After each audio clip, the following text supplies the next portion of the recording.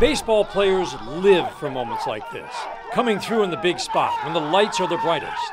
And when you're Wenceel Perez, no situation at the plate scares you. Wenceel Perez lines it into the gap in left center. That's going to get it done. Rossoff, he comes around. He will score. And Wenceel Perez with a game winning RBI single.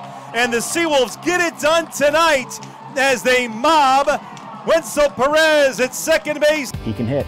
He can hit. And, and, uh, he knows he can hit, and and and that's what I love about a hitter. You know, a hitter that knows he can hit is someone you want up there at the plate. Runner goes, pitch is drilled out to right field on the run is Cespedes at the warning track at the wall. That ball's gone.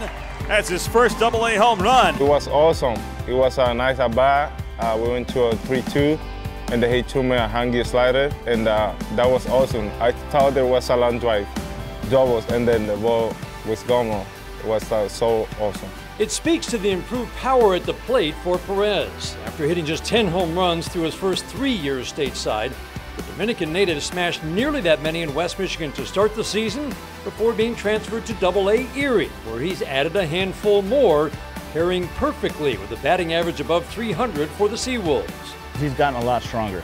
You know, I, I got a chance to see him a little bit last year, and and he's he's significantly bigger and stronger. I, I think this year we go into uh, in camp in Lakeland, and then I take a few pounds and we work on the, the swing that I have, and then that was good. I had like more pound, and that's benefits to be to hit the ball hard consistently.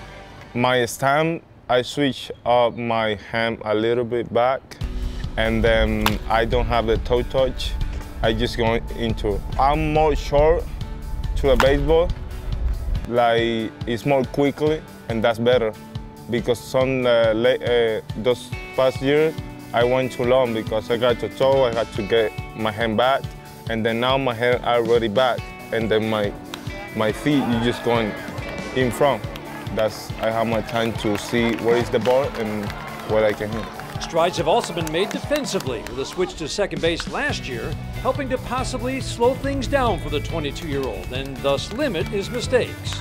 The mindset was that everything they need me, I will do it. If we need me to improve a second, to be a Tiger as a second, I will be a second. Everything they need me, I will be, because I just want to be a, a championship with the Tiger. What is matter is just going to the big league and have the Tiger win.